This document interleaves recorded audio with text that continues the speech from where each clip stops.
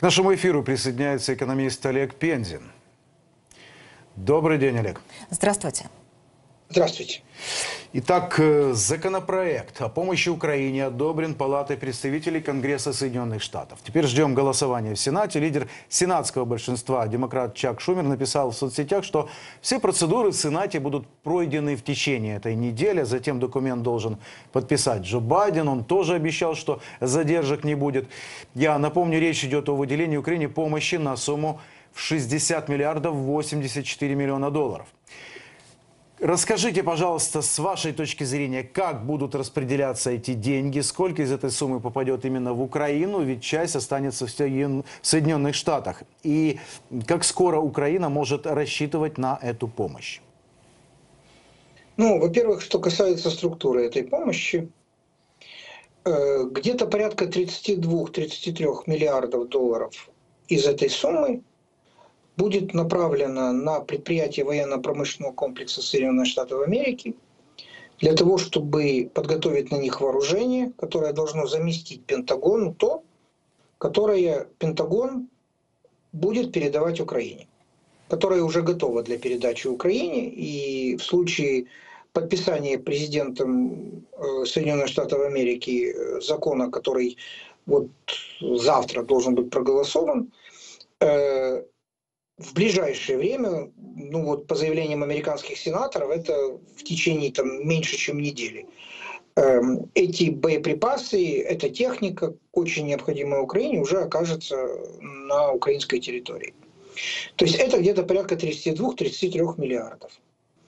Далее идут средства, связанные с э, закупкой техники, далее идут средства, связанные с проведением э, соответствующих систем обучения. То есть общий объем э, военно-технической помощи, который будет передан Украине, со соответствует где-то цифре порядка 50 миллиардов долларов.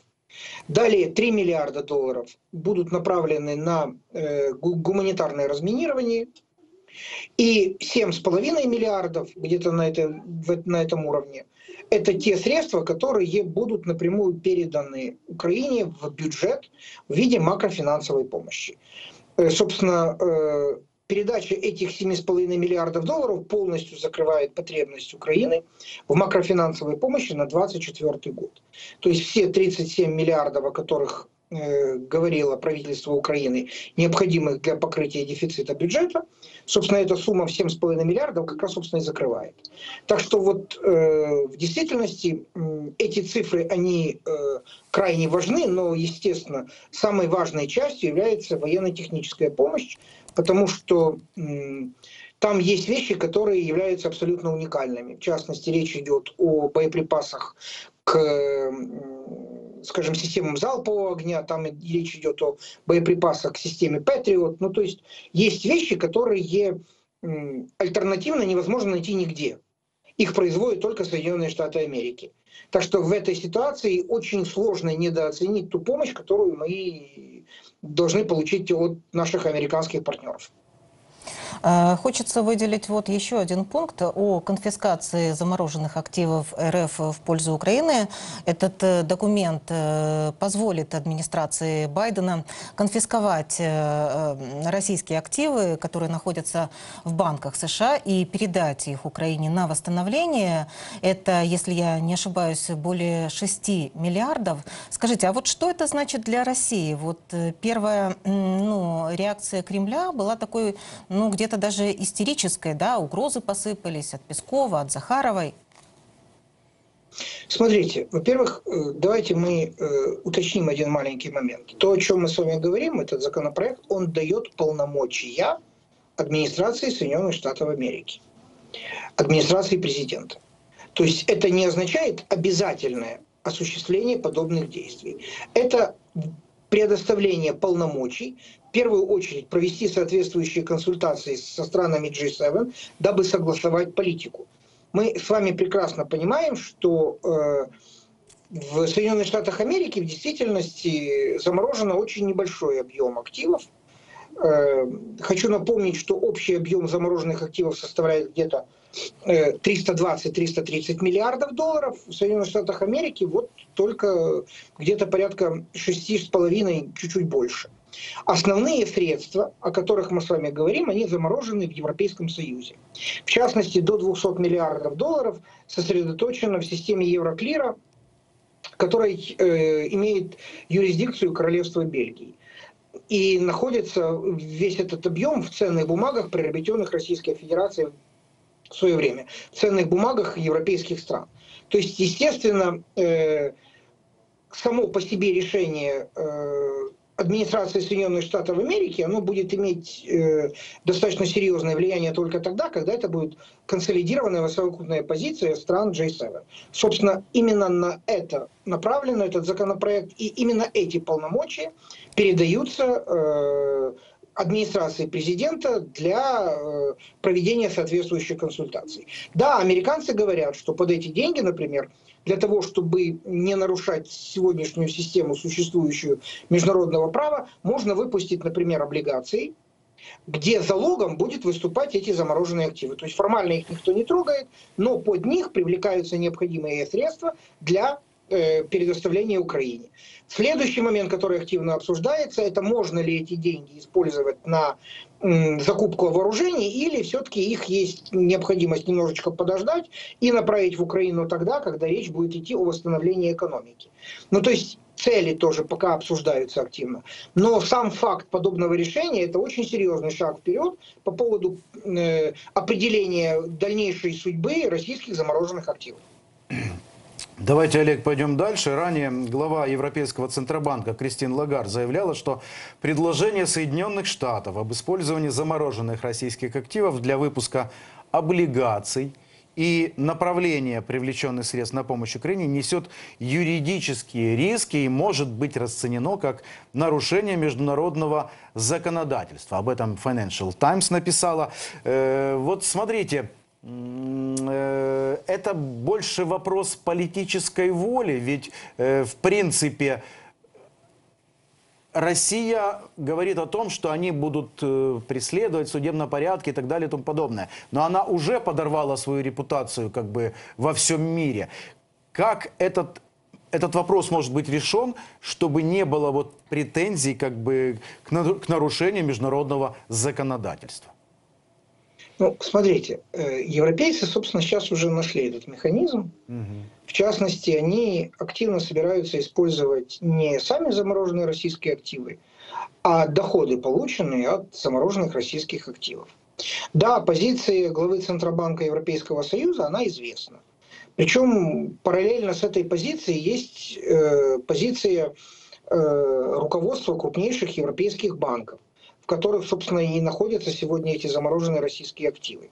Они очень сильно опасаются, что любые действия с этими активами могут привести к э, целой череде э, судебных исков, которые придется погашать этим банкам за счет собственной прибыли. Это тоже вариант.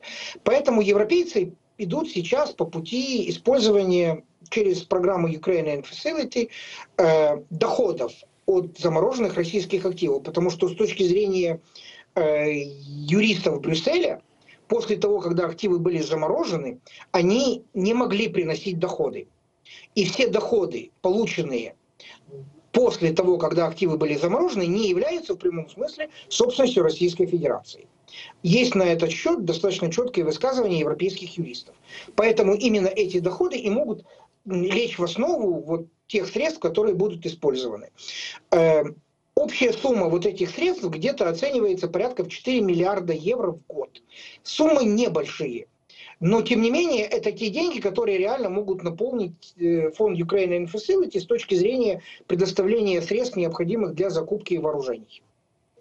Ну вот, кроме того, Соединенные Штаты призвали Евросоюз снизить налоги на доходы от замороженных активов России. Это могло бы помочь увеличить потенциальную ежегодную помощь Украине с 3 до 5 миллиардов евро. Об этом заявил заместитель советника президента США по национальной безопасности Далил Сингс. Сингх, который курирует э, вопросы мировой экономики. Ваше мнение, реально ли это? Пойдет ли Европа на такой шаг?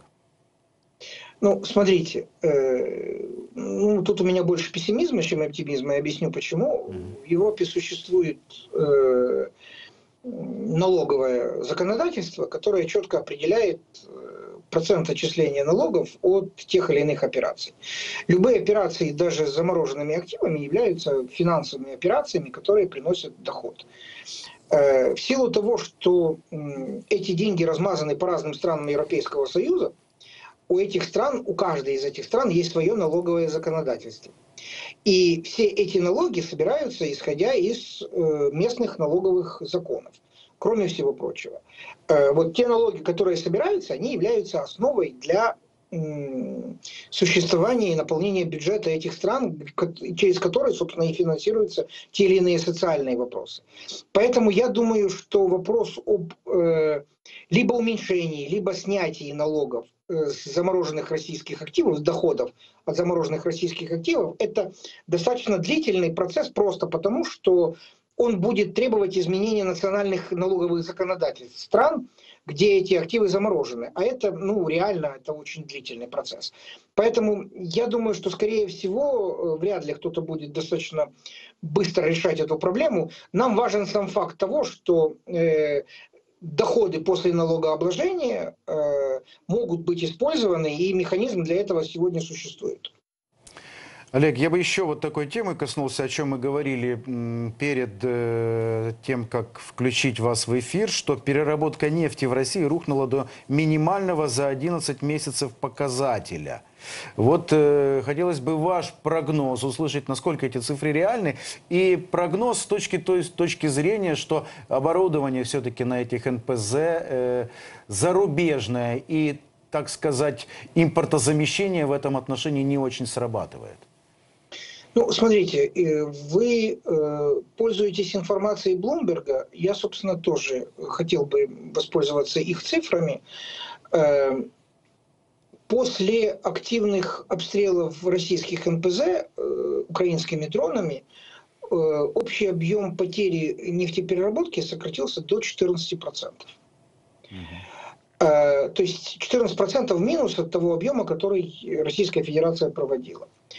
Э, Россиянам удалось порядка 4% за последнее время восстановить. На сегодняшний момент общий объем уменьшения переработки составил 10%. Но параллельно с этим прибавилось достаточно серьезные экологические проблемы, связанные с наводнениями во многих, отраслях, многих субъектах Федерации Российской, которые привели к тому, что часть объектов нефтепереработки остановилась просто потому, что невозможен подвоз сырья и э, невозможно нормально работать этих предприятий в связи с наводнениями. Поэтому да, действительно, кроме тех 10%, которые э, сокра- нефтепереработка российская сократилась в связи с обстрелами дронов, сейчас добавились еще достаточно большие объемы сокращения, связанные с э, природными стихиями. Э, Да, действительно, вот что удалось восстановить, это удалось восстановить те нефтеперерабатывающие заводы, которые строились во времена Советского Союза. То, что строилось последние десятилетия, и то, что напрямую э, при строительстве использовалось западное ноу-хау и западная техника, с ними намного ситуация тяжелее. И восстановление будет намного более длительным в силу того, что э, еще, по-моему, во втором пакете санкций, которые были введены в 2022 году, накладывалось очень жесткие ограничения на поставку в Российскую Федерацию эм, материалов, э, комплектующих, э, готовых изделий, связанных с высокотехнологическими производствами. То есть вот весь этот комплекс технологического оборудования по переработке нефти подпадал под сокращение, под э, санкционные ограничения. Поэтому восстановить достаточно быстро заводы, которые строились последние десятилетия, будет крайне сложно. А почему, собственно, они строились на импортной технике? Ну вот, чтобы мы с вами понимали, глубина переработки нефти на предприятиях э, советских, России, которые сохранились в Российской Федерации, составляет где-то порядка 67%. То есть э, со 100% нефти, которая заходит на предприятие, 60% это светлые нефтепродукты, а остальное это мазуты. Э, на объектах, которые строились э, последние десятилетия и на которых использовались европейские технологии, э, глубина переработки составляет 88-89%. Естественно, эти предприятия намного более технологичны. Но с другой стороны, вот они крайне зависимы от э, комплектующих и оборудования, которые должны были поставляться с европейских стран и на которые сейчас наложен эмбарго. Ну вот смотрите, э, санкции международные работают. Мир отказывается от российских энергоносителей. Э, потопы, как вы упомянули, да, тоже требуют неких средств на устранение. Понятное дело, экономика сейчас работает на ВПК. Откуда Россия берет ресурсы? Э, как она будет, ну, к примеру, помогать жителям потопленных регионов? Ну, экономика, э, э, Россия берет ресурсы от продажи экспортных объемов. Ну, нужно абсолютно четко понимать, что даже введя прайскэп на нефть, э, никто на продажу Российской Федерации нефти эмбарго не вводил. Россия достаточно крупный э, производитель нефти и продавец нефти на мировом рынке. Никто не рискнет это делать, чтобы не обвалить мировые цены на нефть. То есть 30% э, доходов российского бюджета – это нефтедоллары. Кроме всего прочего, есть достаточно большой перечень экспортных товаров, которые на сегодняшний момент – даже не подвергается вопросу по поводу санкционных ограничений. Это редкоземельные металлы, это э, никель тот же самый, да, это как бы э, цветной, цветная металлургия. Это тот же Росатом, о котором неоднократно мы говорили. То есть все вот эти вещи, они как бы э, дают возможность Российской Федерации э, получать сотни миллиардов долларов э, экспортных доходов, что и, собственно, является основой для наполнения российского бюджета.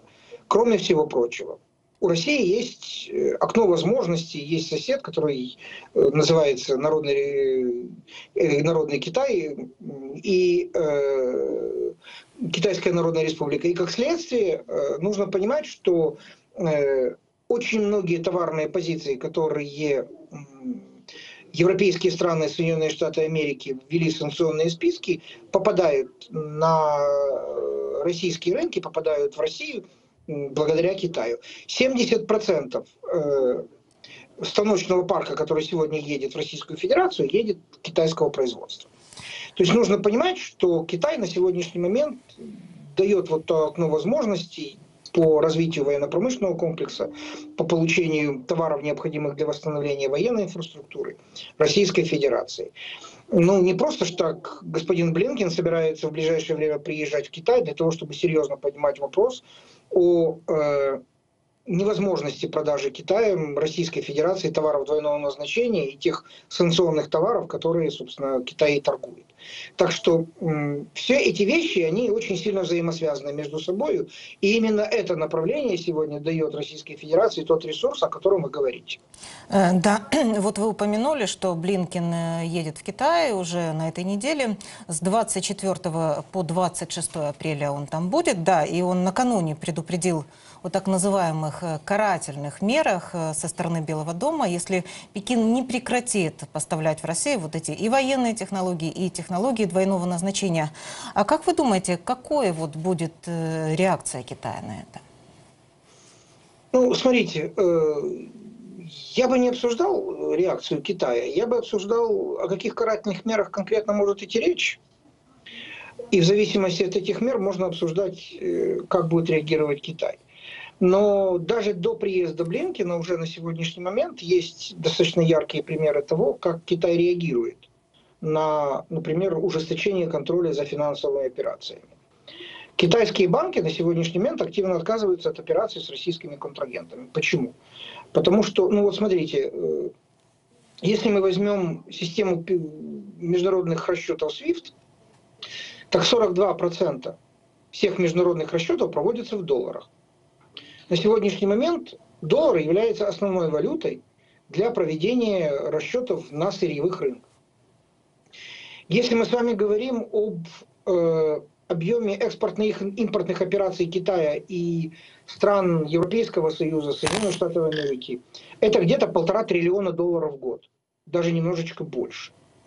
Мы же прекрасно с вами понимаем, что эти суммы крайне важны Китаю для того, чтобы восстанавливать собственную экономику, для того, чтобы обеспечивать этот 5% роста, о которых они сейчас активно декларируют, далеко не так все просто и прозрачно в китайской экономике на сегодняшний момент. У них очень серьезные проблемы со строительным бизнесом, у них э, очень серьезные вопросы, связанные со стагнацией целых отраслей. Поэтому для них на сегодняшний момент продолжение сотрудничества с э, американским и европейским рынком крайне жизненно важно. Более того, не просто сотрудничество, не просто продажа товаров, но и обмен технологий, допуск американских инвесторов на высокотехнологические отрасли китайской промышленности. То есть там очень много завязок, которые крайне важны для Китая. Поэтому позиция Блинкина, который собирается туда ехать, в первую очередь, естественно, будет э, обсуждаться вопросы, связанные с финансовым сектором, с тем сектором, который наиболее контролируемый, наиболее чувствителен для Китая. Дальше, скорее всего, это будут обсуждаться вопросы, связанные с высокотехнологическими отраслями. Ведь мы же должны понимать с вами, да, что Китай – это мировая фабрика. Но мировой научно-исследовательский институт – это все-таки Соединенные Штаты Америки. И если в Китае не приедут технологии, они приедут, например, в Индию, вместе с китайскими венчурными фондами, вместе, вместе с американскими венчурными фондами, то Китай может существенно быть подвинут с точки зрения мировой фабрики. И Китай это прекрасно понимает. Поэтому там есть очень много чувствительных для Китая тем, которые, я думаю, что будут обсуждаться достаточно активно. А что, по-вашему, означает для Москвы тот факт, что несколько банков Китая, включая крупнейший ICBC, с конца марта перестали принимать платежи в юанях из России? Ну, я, собственно, только что сказал, что э, существует очень большой, как бы, очень большая возможность контроля за финансовыми операциями со стороны, э, в частности, Министерства финансов Соединенных Штатов Америки э, по отношению к крупнейшим банкам, которые э, обслуживают в том числе и э, китайские компании.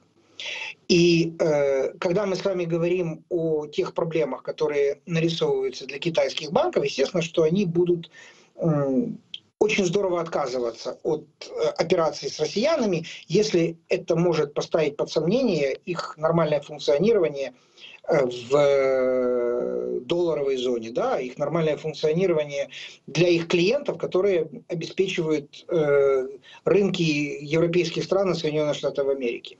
Поэтому речь же даже не только о Китае, речь идет о Турции, речь идет о Арабских Эмиратах. Там аналогичная ситуация. Там тоже резко изменяется отношение банкиров к компаниям российской юрисдикции. Давайте поговорим о прогнозах Силуанова. В его заявлении, опубликованном на сайте Минфина России, говорится, что темпы роста экономики России в 2024 году ожидаются на уровне 23, то есть 3,6%. Дефицит бюджета составляет порядка 1% ВВП, а государственный долг сохраняется на устойчиво низком уровне около 15% э, ВВП. Что из этого правда, а что не очень? Ну, смотрите, э, по-моему, Марк Твен в свое время говорил, что есть э, ложь, наглая ложь и статистика по мере возрастания лжи. Поэтому вот в данной ситуации, когда мы с вами обсуждаем перспективы российской экономики, нужно абсолютно четко понимать, на основании чего это происходит. Да, россияне бросили сумасшедшие деньги в военно-промышленный комплекс. Это дает на сегодняшний момент, ну как и в любой другой системе увеличения военных расходов, увеличение расходов государства, дает э, определенный прирост э, валового внутреннего продукта, объективно. Собственно, когда мы говорим о темпах развития, мы говорим именно о ВВП. Но, опять же, ВВП, э, который формируется за счет производства военной техники, и ВВП, который формируется за счет улучшения э, скажем, гражданского сектора, увеличения товаров народного потребления, э, он по-разному сказывается на благосостоянии граждан простых, россиян. Э, в действительности, если мы вспомним последние десятилетия Советского Союза, Советский Союз же демонстрировал рост экономики постоянно, причем было там не 3-5%, проценты были намного выше. Но давайте вспомним, как жили в этот момент советские граждане. Какие были колбасные электрички, как долго и сложно было найти за собственные деньги хоть какой-то товар на полках магазинов. Так что ВВП это еще не является прямым синонимом качества жизни. Так что в этой ситуации ну, проблема может быть просмотрена с разных точек зрения. Что касается долга, ну, мы должны с вами понимать, что э, государственный долг – это есть способ покрытия дефицита. Ну, то есть, если у вас есть дефицит, то есть, если ваши расходы превышают ваши доходы, то эта разница должна покрываться за счет чего-то. В Российской Федерации, которая была отрезана от финансовых рынков, эта разница покрывалась за счет фонда благосостояния. Но фонд благосостояния, его ликвидная часть, достаточно сильно ушла вниз. Ну вот можете себе представить ситуацию, когда россияне для того, чтобы покрыть дефицит этого года, начали активные дискуссии с Китаем о получении у Китая взаймы на покрытие государственного долга, на покрытие государственного дефицита. Но Китай не спешит давать Российской Федерации деньги в долг, поэтому на сегодняшний момент доля долга Российской Федерации, она стабильна абсолютно, 15% ВВП, и расти она вряд ли будет, потому что у Российской Федерации нет доступа до международных финансовых рынков. Им неоткуда просто эти деньги дополнительно взять. Что, по вашим наблюдениям, происходит сейчас на рынке труда России? Судя по последним известиям, э, в стране нач- начался кадровый голод. Много россиян попали под мобилизацию, кто-то отправился на фронт по контракту, поверив обещанию высоких зарплат, кто-то успел уже выехать из страны, тут еще мигрантов начали преследовать, так сказать, основной источник дешевой рабочей силы. Как по вашим наблюдениям, что с кадрами сейчас? Ну, вы абсолютно правильно все сказали. И, кстати, российские экономисты достаточно серьезно тоже об этом говорят. Проблема-то заключается в следующем, что на сегодняшний момент в России беспрецедентно низкий уровень, инфля- э, и уровень безработицы. Ну, то есть, э, вот тот перегрев экономики, который был связан с огромными военными расходами, э, привел к тому, что э, на тех предприятиях, на которых э, были и есть военные заказы, на них резко повышается заработная плата, и, естественно, они выступают в качестве таких огромных трудовых пылесосов. Они собирают с гражданских отраслей, с отраслей с низкой заработной платой людей, которые должны работать в несколько смен на этих военных предприятиях. При этом резко уменьшается доля э, гражданского сектора экономики, и как следствие в тех отраслях, которые обычно держались за счет мигрантов, за счет э, людей, согласных работать на дешевой рабочей силе, это э, строительство, это сфера услуг, это э, сельское хозяйство. Там на сегодняшний момент в действительности огромная проблема с кадрами. Их просто физически нету, и вряд ли они откуда-то появятся. Поэтому э, на сегодняшний момент осуществляется жесточайший перекос российской экономики вот в сторону военно-промышленного комплекса. При этом основным наполнителем э, внутреннего российского рынка товаров народного потребления, в том числе автомобильной техники, является Китай. Он жестко заполонил весь российский рынок.